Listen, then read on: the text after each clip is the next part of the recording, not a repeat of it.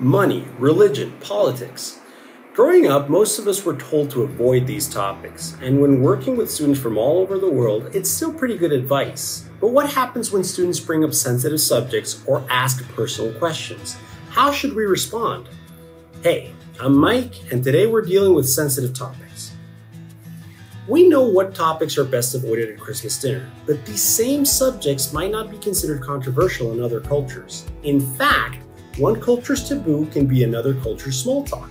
For example, some students may bring up politics because it's been international news. Others may openly discuss their faith and be curious about your religious customs. So how do we navigate these tricky subjects? Two quick ground rules. First, it's important to know your limits. Everyone has one or two hot button issues that we can get pretty passionate about. Remember that the main goal is for your student to practice their English. If a certain topic is going to distract from that goal, it's probably best avoided. Take a moment to reflect on what topics, if any, you'd rather not discuss on Cambly. Rule number two. Just as important as knowing yourself is knowing your students. If a brand new student wants to talk politics, I usually redirect the conversation. But if one of my regulars who I know and trust asks for my opinion, I consider that on a case by case basis. Even then, these topics should be handled with the highest degree of care and respect.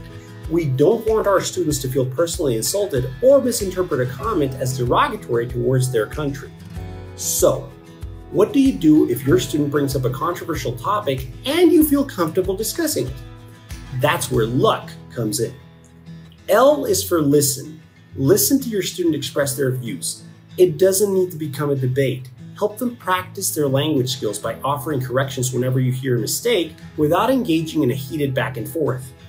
Those corrections can lead you in a more productive direction.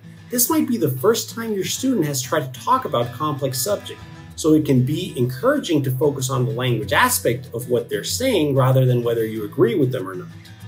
U is for understand.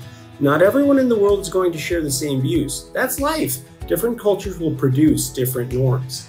Understanding that not everyone is going to agree with our beliefs can allow us to let go of the need to defend our own position. But sometimes you might hear opinions that make you angry or upset. Don't let the conversation spiral out of control and spoil the bond you're trying to build. Instead, C is for change the focus.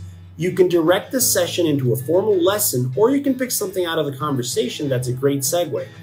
You might thank your student for sharing their opinion and suggest working on an issue you noticed while they were speaking. Grammar resources or an article to focus on here would be a welcome change.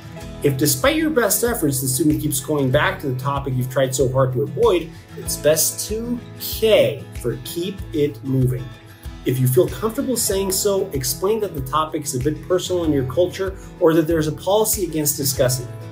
You could say you're happy to talk about the government in general if they'd like to learn how things work in your country, but you'd like to avoid political opinions. You could cover vocabulary related to the topic without actually getting into sensitive territory.